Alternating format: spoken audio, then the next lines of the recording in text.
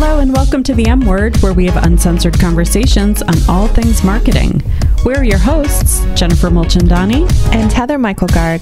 For season two, our conversations are focused on brand. Listen in for ideas you can use for your brand. Enjoy today's episode. On this episode of the M Word, we go back through season two, which was all about brand. We're going to share some highlights with you and some of our favorite moments. Enjoy the show. Hi, Heather. Hi, Jennifer. I can't believe we're at the end of season two already. I know that went really fast. It, it goes fast, um, except for the days it goes really slow, like when we find out we had yet another ad- episode of bad audio. Oh, that's the worst. Or we have to find another person to interview and and schedules and COVID and all the good stuff that went into it. But I think all in all, we did pretty well, and uh, we talked about brand. Yeah, we decided to pick one topic for the season and expand on it. And interestingly enough, every single person had a different definition of brand. Which is a good reminder, uh, being in the business that we are, that when someone walks through the door and says they need help with their brand, it might mean one of a million things. But uh, we know that words matter. And I think what we learned with brand is that um, at the heart of it, for each guest, even though they all approached these similar questions in very different ways is that each of them had something that um, was tied to like a motivation or a value or something that was not product or service related but was about achieving something which i thought was really kind of cool that that came through. And i felt like they all believed wholeheartedly in their definition of brand. They weren't like questioning well i think it's that no, they believed that their brand was this, whether it was visuals, messaging, values, and they accepted it and went all in with it, which was great. Yep. So let's review who we talked to and what we learned from them. Because if you missed any of our episodes, I mean, obviously they're all streaming and unavail- and available on our website. But um, I thought it'd be fun just to kind of go through who we talked to. Which so we talked to Diana from Pentagon MMA, and you know, it, it was interesting that in the the pandemic, in a way, while really hard on her business, which is an in person business, it forced them to retool technologically. And that had the resulting effect of their brand growing and them having reach now through a YouTube channel that they invested in that's literally worldwide. And their brand, up until that point, was really hyper local focused. And so now the opportunities for their brand are, are completely open ended, which is wonderful. Yeah, it's kind of like ready or not, here it is. Yeah. And they had to do it, which was great. All right, so the next one was Kim Klingler with Columbia Pike Partnership. So they rebranded publicly this year. Um, and what stood out for me with them was they did a lot of internal work. So they talked with consultants, they talked to their board, they did some community evaluation, some focus groups, and it was time. Um, they had reached a point where Columbia Pike Revitalization Organization was no longer working for them. Yeah, and so they really they walked in the door for a the visual rebrand, having a really solid understanding of their mission, their vision, their values, their people. Like that was that was totally when that kind of work is done uh, from the client. The the visual side is it flows so easily. Yep, and we were actually there for the rebrand announcement, and it was so well received, and it was fun to to see the community get excited about yeah, that. That was a fun party for sure. Uh, we talked to um, Kate Bates from the Chamber of Commerce, which you know Arlington Strategy has been a member there for almost ten years now, and you know she described how their brand already had evolved. They were operating with a whole different um, sort of purpose and um, infrastructure, and that the their visual brands or the com- the outbound communication wasn't capturing who they really were authentically. And so for them it was it was less about making a decision to change. They already had changed and they just needed a visual to make it happen. And they did theirs fast. She described a process that was only a few months in the making, but what made it work was that they had put their team together and they knew going in what it was going to take to come out and meet their own deadlines for their launch. Yep. And I think there is value sometimes in having that small committee of decision makers that can go in and get it done. Absolutely. Then we talked to Christine Wilson with M2M, um, and she has a digital marketing agency as well. And she really honed in on the importance of brand guidelines and aligning your team with who you are, what is your message, who's your audience, and just making sure that everything you put out there is in line with that brand guideline. Which is important because when you think about it, many of our guests talked about how the brand is passed along in the organization, you know, word of mouth or just training. But from her perspective, when you're if you're going to grow your brand, that you're you're by definition going to bring in people who weren't at the starting line and they don't have that history and that understanding. And so, document, document, and train. Um, otherwise, you know, you start having things change without you realizing it and unintentionally sort of thwarting what your whole brand goal was we talked to Greg Hamilton from uh, Arlington Magazine, which has been in the community for a very long time now. And I think we were both struck by the fact that he he had a really good idea of what he wanted to accomplish. He wanted a lifestyle magazine. He wanted something that was representing Arlington Falls Church, um, he in McLean, and you know. But before he set out to do it, he went and he talked to his target market and he he he tested his own assumptions and he made sure that his target market um, made it clear what they wanted. And then when he launched the magazine and his new brand, um, he he hit the nail on the head. He delivered what he said he was going to deliver and what what was asked for. And so and he's maintained that all the way right. through. Right. Yep. I was just going to say that. I think that he has stayed true to their values, to their original goals, mission, and it's proven to be successful.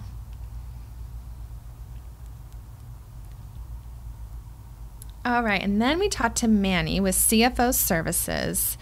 And he was really inspiring to me. He put a lot of time, resources, money into this rebrand that they did, and it proved to be very successful. I think his his brand really and his company skyrocketed after that. Yeah, I think he said his business doubled yeah. since the rebrand, but he also did share it was a significant time investment. So his role as CEO, he, he described as having shifted. Um, and part of the, the rebrand included like operational infrastructure. What did they want to become and what was it going to take to get them there, which I thought was fascinating. Another person we talked to who who grew and then ultimately left um, and exited his his first brand was Gavin Hammar, who now is running Story Prompt. But we met him as the founder of Sendible, which is a social media um, planning tool. And so I think what was so interesting to me is he was talking about he first building his brand, he felt this like driving desire to be bigger than he was. And he thought to be taken seriously um, as a software solution that he needed to pro- project this like largeness and pretended that he had a staff that was bigger than he was and you know using we language instead of i even when it was just him but that as he grew and now that he's transitioned into another startup um, the confidence that came with experience and he's happy to start brands and be be involved with a brand that isn't big and that's mm-hmm. okay mm-hmm. that was a great episode then we talked to Navari with Intuitive. Uh, he actually had amazing sound quality because he was in the closet when we called him, and it was fun to uh, see him in there. Uh, made him a little bit more human. And he talked a lot about failure and how you need to fail to succeed. And that was a really great episode just about vulnerability and taking chances. Yeah, and he, he said that part of his brand essence is really connecting with people authentically, and that to do that, he, you know, not pretending to, to be perfect, but um, share share points of vulnerability will actually make you um, relatable to people that who are trying to you know assess your brand and whether or not they want to work with you, which I thought was fascinating. We talked with Evelyn Powers. Um, from Design Powers, and I think that was the most we laughed on an episode. And she probably swore the most of any guest we've had in the two years we've done this, which kind of um, puts her up there in my in my bucket as uh, worth uh, talking about. So don't listen to the Evelyn Powers episode if you have um, uh, sensitive ears. We call those M bombs, by the way. Yes, and she was she was very funny, and uh, she also dropped a lot of names um, mm-hmm. because Evelyn's had her business in this area for quite some time. So that was a great episode about um, just being connected and. Um, and in knowing who you are she's really evolved her brand a number of times and mm-hmm. shared why and how she mm-hmm. she's gotten where she has over her 20 plus years in business and yeah she had no filter and i loved it it was fun that's right um, and someone close to, to Evelyn is Karen Bate with KB Concepts PR. Uh, Karen talked about uh, being your authentic self and walking the talk. Um, and finding that one thing and doing it well. You don't have to be all things to all people. Just find that one thing and make it the thing that you do the best at. You know, Karen's one of those people that um, really has a special place in my heart because I remember when I was very early in the business and met her, and I was, and she was launching, her and Evelyn founded um, a networking group for business women in, in the area. And at the time, I was like, oh, there's no way she's going to want another marketing person in the room. But instead, that her reaction was 100% opposite of what I was expecting it to be. And she's just one of those warm people who truly wants to help people succeed. Um, and it's been really fun to, to see her evolution of her own business um, and her own success. Agree. Then there was JD Spain Sr. He is a well known name in this community and right now the president of the NAACP here in Arlington. I would just say he was real, honest, direct. He is so deliberate in what he says, in who he meets with, in his actions. And if he doesn't think something's right, he's going to speak up and tell you. And we felt like we could talk to him all day. Oh yeah, I think we need to have multiple conversations because you know he's also a, a, a businessman consultant in his own right, um, and he does uh, he works for LMI and does I believe DEI work with them. But his passion around the work and and not just the work with the NAACP, but the work in the community in general, and the other partners who are working. It's not just the NAACP, but the other partners who are doing great work around racial justice and um, and how the community, the ups and downs um, over the last few years and during a pandemic, how he's been at the helm, you know, gr- natural growth for the organization um, after the murder of George Floyd, but also. Um, and and the community getting fired up, but then also the natural attrition that has happened. You know, the more time has passed, and how does how do they as an organization maintain maintain their presence in the community? So it was a great listen. Highly recommend that and related to to that conversation, I felt it was it was a natural um, uh, evolution. Our conversation uh, with Whitney Kernodle, who is um, at the helm at Arlington Independent Media, and her, that conversation, I that she just came across as a person with power and purpose. Um, and she she'll admit like she she comes as you know community organizing and she has been uh, an ad a community advocate um, and a, a, background in law. Um, but she wants to make a difference uh, in her community. She wants to give uh, voice to the to the unheard. And she has been retooling and rebuilding AIM um, and they just had a big coming out party uh, for, for, their their new their new launch, um, and it, it, was just it was fascinating. She was so inspiring. I love talking to her, and I feel like she's someone that we could have more conversations with as well. Absolutely, her she her story she harkens to, to her upbringing and her parents and the influence that they had on her creating a personal brand and honestly like uh, her her sense of self um, is directly correlated, I believe, to the power and uh, leadership she's bringing in her role with AIM and their rebrand and, and, and regrowth, if you will, which has been fascinating. Mm-hmm. So, we hope that those little um, snippets of our last episodes of season two will inspire you to go back and listen to them. They are all online. You can go to arlingtonstrategy.com um, and then listen wherever you download your podcasts. And Jennifer, we are starting now to plan season three of the M Word. I'm so glad that when I said yes, we're doing this, you said okay. and, and, didn't say no. No, I'm excited. Uh, but we've decided to, to shift season three a bit, and we're not just going to pick one topic. Yeah, I, I, think our attempt with focusing on brand for season two was trying to bring in the conversations a little bit, um, try to go deep instead of broad. Um, but you know, we had we had some wonderful nuggets of conversations before and after we hit record, and I think where our our uh, thrill was happening in these conversations is when we started talking about the stuff that wasn't so hot meaning not the what went right in the rebrand or lessons learned or you know how to do it better next time but it was the points of human vulnerability which just it makes us want to meet people and talk to people. Right yeah our goal for season three is to throw out the script so to speak and talk to entrepreneurs, business owners, professionals about where did you fail and what did it feel like? And let's get vulnerable.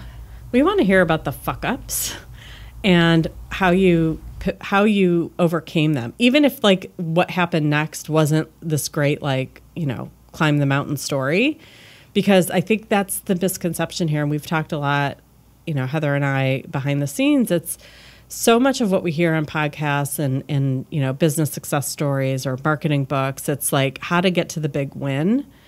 But you know sometimes you don't. Sometimes you fail. Sometimes you fail again you fail again. And there's there's things to learn from that even if at the end of the the episode it isn't. And then they sold their company for 20 million dollars so you know we we want to we want to get real. We want to get vulnerable. And honestly, I, it was that conversation with Navari. He's, you know, we keep saying he was in the closet. We meant literally physically. He was standing between his clothes because, and he, our our sound guy Ben said he had the best sound of anybody um, all season. Um, but he shared about getting vulnerable and as an important part of his brand, connecting with his customers to help them with their brand. Mm-hmm. Um, and it just sparked that sort of that nugget for us of saying like yeah like let's have more non-scripted open-ended but let's let's get real. And it can't nobody has a like unvarnished story. And the yeah. varnished stuff's getting old. It is. And i feel like when you and I were messaging back and forth when we were talking to, to Navari, and I think you wrote it to me in all caps. Let's talk about failure, and I'm like, yes, that's perfect. Yeah, and it, it lit us both up again, and so I think it's a perfect way to seg- segue into season three. Um, but before we do, we have another episode that we have some exciting news. Well, it's uh, Arlington Strategy's 10 year um, anniversary.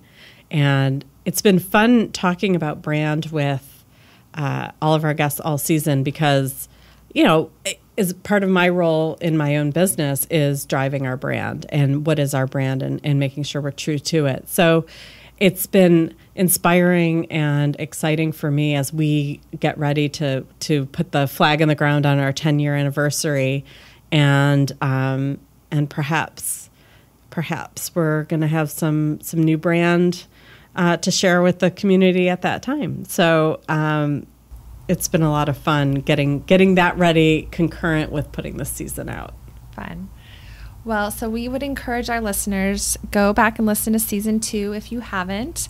If you have ideas for guests for us to interview for season three, someone, maybe it's you, who's willing to get vulnerable and talk about failure and success and all that comes with it, we'd love to hear from you. And then stick around for our next episode where we are going to talk about Arlington Strategy and their 10 years in business and where they're going from here. Sounds fun. Thanks for listening in. Bye. Thanks for listening to this episode of The M Word. We'd love to hear from you. You can find us on Facebook, Instagram, LinkedIn, or Twitter. And we'd really love it if you would leave us a review. Until next time, don't be afraid to be uncensored. The M Word is an Arlington Strategy production hosted by Jennifer Mulchandani and Heather Myklegard. Our theme music is Golden Reflections of the Sun by Vlad Glushenko. Graphic design by Kayla Fagan. Sound engineering and editing by Ben Mulchandani and Nina Sofia Pacheco. Editing by Nina Sofia Pacheco and Janelle Walters.